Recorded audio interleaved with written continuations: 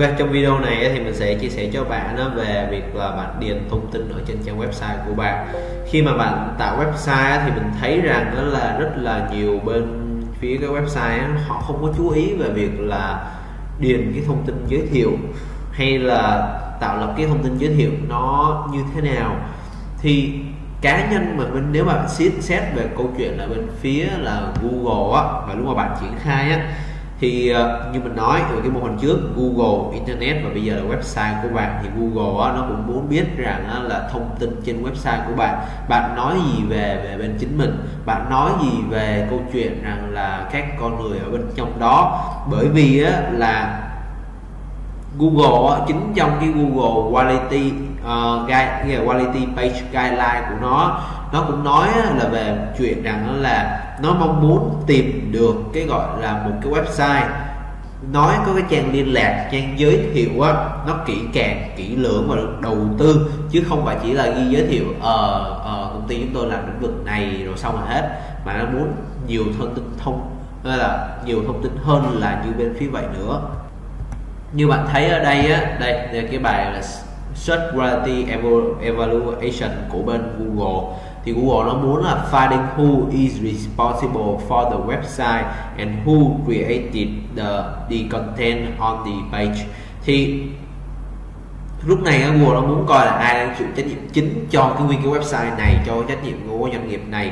Uh, và ai là người tạo lập cái content ở trong cái các, các website thì nó muốn tìm được coi là có thể rằng là in individual có nghĩa là một cá nhân một công ty một cái doanh nghiệp hay là một cái tổ chức gì đó để có thể là Google nó muốn tìm những thông tin như vậy.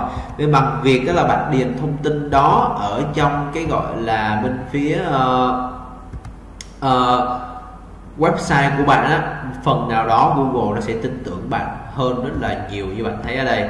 Trang GTV của mình thì mình ghi khá là nhiều ở trong đây về cái gọi là cái cái giới thiệu về nhiệm vụ về sứ mệnh về nhìn mình làm cái gì và tại sao mình làm.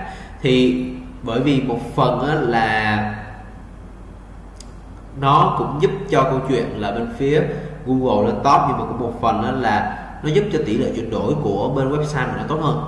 Cá nhân bên phía khách hàng mà nó đọc một case study rất là rất là nhiều case study luôn, là khi mà khách hàng bấm vô trang giới thiệu. Và trong trang giới thiệu này nói lý do tại sao bạn khai sinh ra doanh nghiệp nói lý do cho bạn việc là bạn là ai và nói về việc bạn làm cái gì và tầm nhìn của bạn, sứ mệnh của bạn, giá trị cốt lõi của bạn là như thế nào và đôi khi là bạn kể chuyện ở bên trong cái phần trang giới thiệu này thì cái tỷ lệ chuyển đổi của nó đôi khi là tăng gấp 30 phần trăm rồi nhiều khi là tăng 40 phần trăm so với tỷ lệ chuyển đổi so với ban đầu và các trang thương mại điện tử khi mà mình thấy như vậy. Thành ra ở đây không phải câu chuyện nào mình tạo niềm tin cho bên phía Google. Mà Google á, cơ bản như mình nói, nó muốn giả lập ở bên phía ngoài. Thành ra khi mà nó tạo bạn bạn tạo tin tưởng cho bên phía Google càng nhiều á cũng là một phần, là một cách thức bạn tạo tin tưởng cho bên phía cả người dùng nữa. Bạn có thông tin trên giới thiệu thì khúc này bạn sẽ tạo một thông tin cho bên phía, là bên cả bên phía ờ, người dùng. Thì rất là nhiều trang web khác bạn thấy. À, Ai đi rồi, thì cũng có cái trang gọi là trang giới thiệu và ghi rất là cụ thể ở trong đây. Hay là bạn thấy những cái trang, những cái tập đoàn lớn như Casio chẳng hạn, nó nguyên một cái mục luôn, một cái menu luôn như bạn thấy. Một cái menu luôn là về cái giới thiệu về doanh nghiệp. Như đây là thông điệp của ờ, chủ tịch rồi uh, triết lý rồi uh, giới thiệu về bốn người bốn bốn anh em Casio Casio ở đây rồi dữ liệu company uh, dữ liệu của công ty mà thấy. Trong đây nó có rất là nhiều về cái đó có thậm chí là từ uh, cái gọi là cái movie và cái uh, cái cái video về cái doanh nghiệp nữa. Hay là thấy những cái trang web khác như bạn thấy ở đây thì ở đây là trang web về riêng về bên uh, cá nhân. Thì trong cái cá nhân này như bạn sẽ thấy là đây.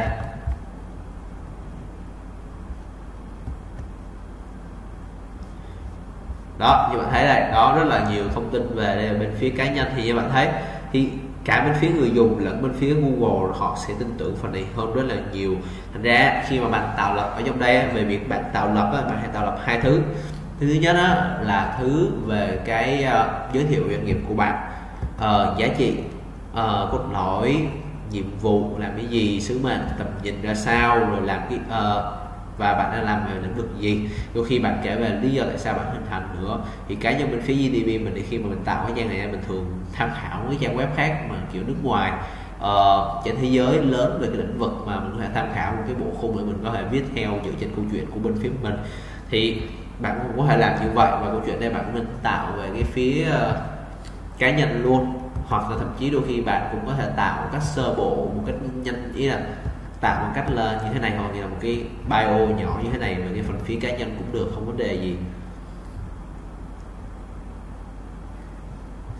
Đây hiểu vậy thấy nó chỉ là một cái phần uh, nhỏ về cái phần phía bên uh, bên bên đây nó cũng gọi là một thông tin về cá nhân rồi thì bạn cũng có thể tạo ở bên phía này.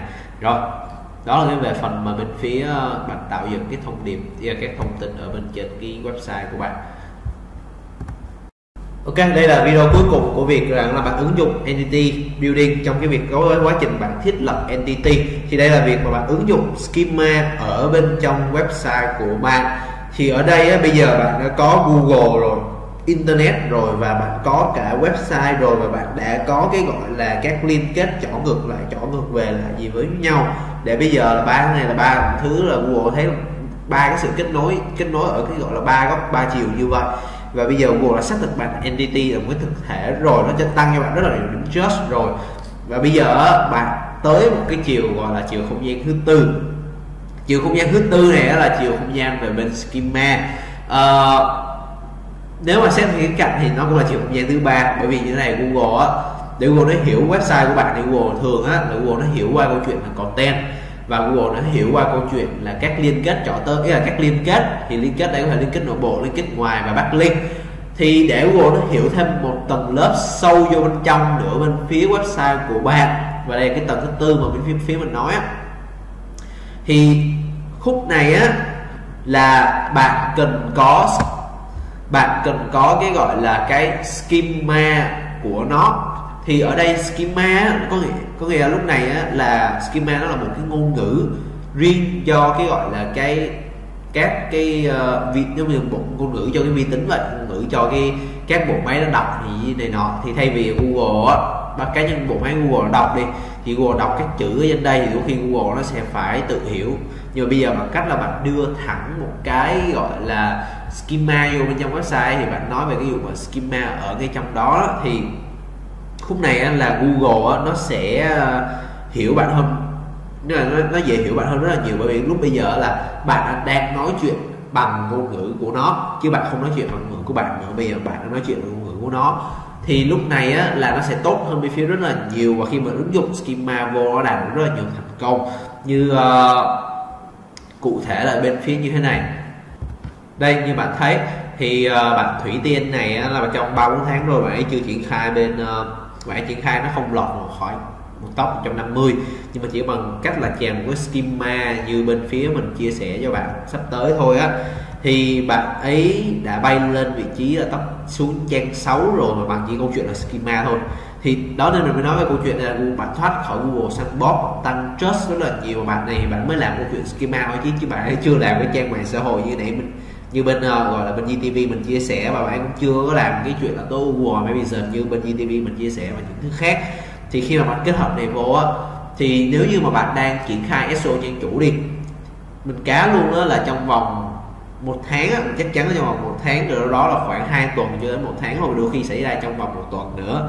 Thì trong đó một tháng á, bạn sẽ thấy thứ hạng mình cải thiện lên một cách rõ rệt khi mà triển khai chỉ qua câu chuyện là thiết lập entity như thế này thôi thế nên á, nếu mà được á, bạn muốn trải nghiệm cho cả website cũ hay website mới á, thì bạn có thể là sau khi coi xong cái phần 2 này bạn có thể ứng dụng bên trong cái gọi cái website thì bạn sẽ thấy được cái việc là bạn cải thiện nó lên khá là nhiều nhất là khi mà SEO trên vị trí là trang chủ. Bởi vì cái là tối toàn bộ nãy giờ các, các liên kết đều chọn hết tới trang chủ cả. Rồi thì uh, đó là câu chuyện schema. Trong video tiếp theo uh, cũng là video làm rồi của bên phía mình thì video làm rồi mình chèn ở trong đây rồi thì uh, mình sẽ gắn liền vô trong cái video này để bạn có thể coi được cái cách mà mình cách thức mà mình làm cái NDT mình xây dựng cái schema như thế nào để bạn hiểu hơn rõ về cái schema. Rồi.